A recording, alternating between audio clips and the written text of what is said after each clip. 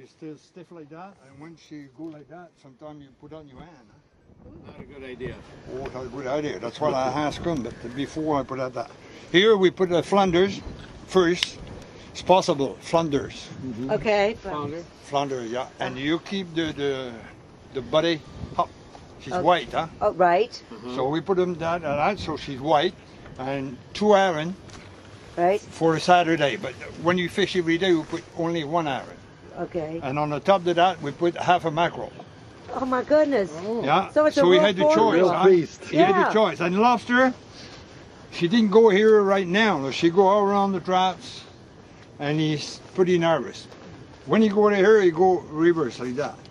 Oh yeah, back You go back backward.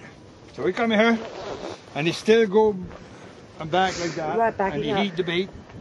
But soon he see another one come in or something, he give a shot and he go here. When he's here, he can't go. He come back, can't find the hole.